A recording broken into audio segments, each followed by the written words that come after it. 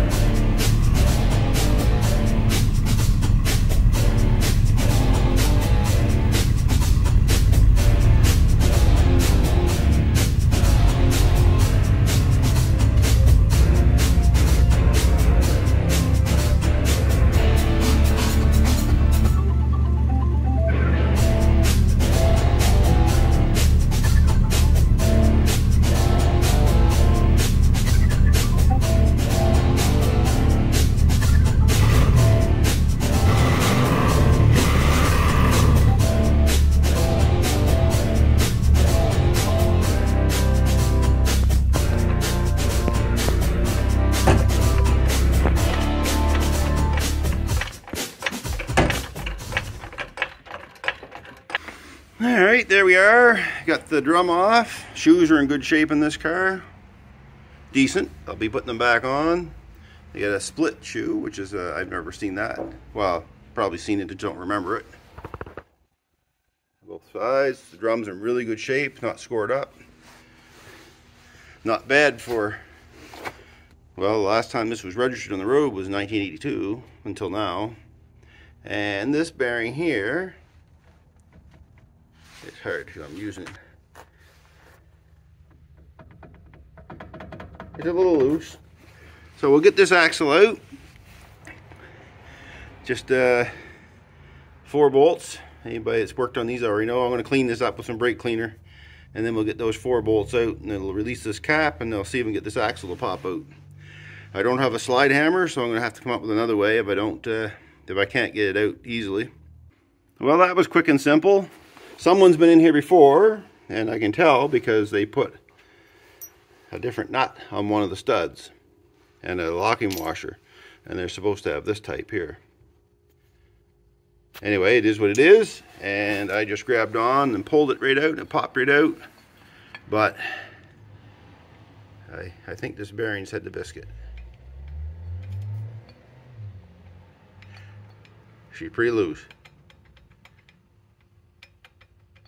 All right, I'm gonna pull the axle out and see uh, how I'm gonna get this bearing off. Now, probably end up just cutting it with the uh, zip cut and then the retainer collar. But first, before I take it out, I'm gonna make sure my new bearings are the right ones. Probably a good idea before you start cutting it apart. Well, that collar didn't give me much of a fight. I, uh, I could hear it snap, so it's loose there. Now I'll tap it off. I only cut halfway through it, a little better than halfway through, and it cracked right through. So I'll give it a crack, opened up some, slide that out of the way, and then go after the the bearing race. That bearing was was pretty much dried right out. No wonder it was uh, no wonder it was it was loose. Well, that was pretty quick. That took all about two minutes. Scored it, hit it with the hit it with the uh, chisel, same as this one, popped right off, slid it back, and that's ready. I'll clean up this.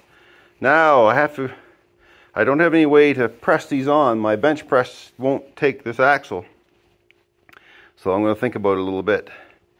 I'll probably heat the bearings up with in some hot oil. That's her. She's all back in place. So what I did, I had the bearing, I put in some new, brand new uh, clean motor oil, new clean motor oil. And I have a little hot plate uh, somewhere here. Anyway, it's on the other side of the fence. We don't need it, just a hot plate. I put the bearing and the collar, both of them in the oil, and brought it up to around 60 degrees Celsius. I didn't want to go any higher than that. That's enough. And just enough to expand the bearing. But you don't want to melt the grease out of it. And then when I slipped the bearing over, I tapped it around because there's a bit of a face inside there's quite a bit of room on this uh, this piece here, right? So I was able to get on with my brass drift, which I need a new one of, and uh, the, seated the bearing down tight.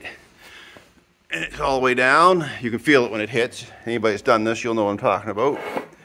And then uh, for the collar, I put, had it in the oil as well, put it on, then I used the old uh, retaining collar to pound on. Uh, since I don't have a tube to go down over everything, I just use, uh, I had it like that, and I used a sledge holding it down with one side and hit it with the ball peen hammer on the other side. So, and I kept shifting around, moving the, moving around like that, and around like that, and hit on the opposite side with that, and it, it slipped in there pretty good. So that's it. I'll get this back in the car. Don't forget to put this back on before you do it. And that's the orientation of it, because if you do, you'll be cutting that bearing back off. So always put that on as soon as possible before you do any other work. Once you get it all cleaned up, put that back on. All right, let's get her back in the car. There we are, got the second side out, the driver's side out. Now this one was rusted in pretty good, you can see. And this bearing is loose, but it is groggy. I mean, it's loose from, it's not, probably not as bad as the other side, but it's still pretty bad. So I had trouble getting it out. I don't have a slide hammer. So what I did, I put the one of these nuts on here, nuts that came off it. Again, this somebody's been in here.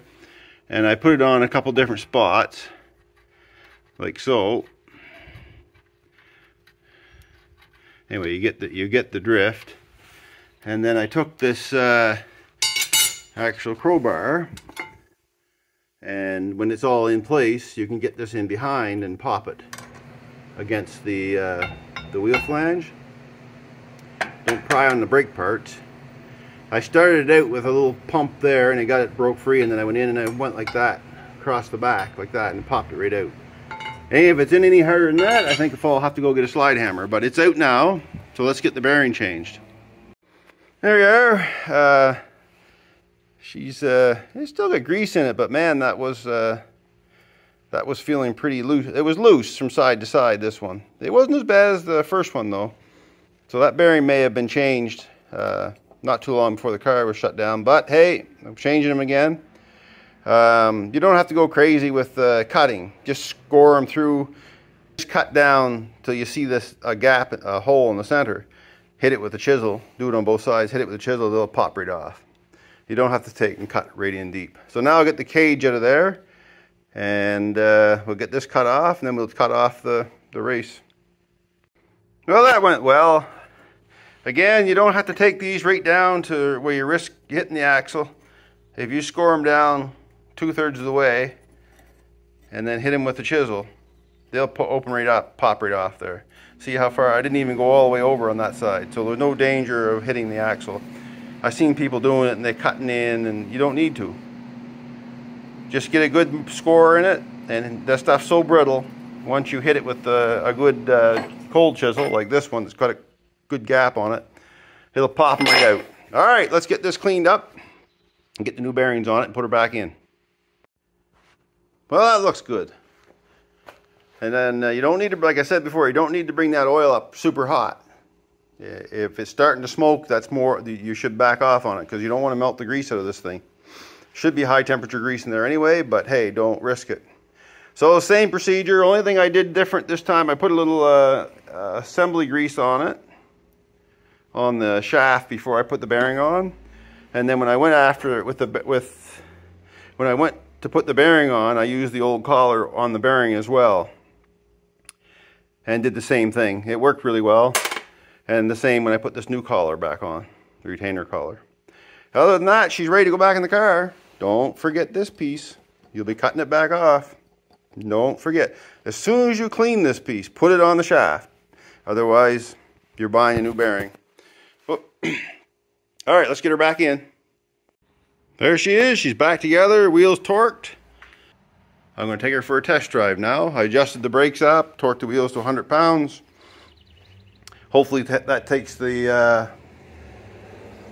sound out of the axle. Now, if it didn't, I have to pull the center out. I have a spare center, so I'm not too concerned about that. But for now, this will do her.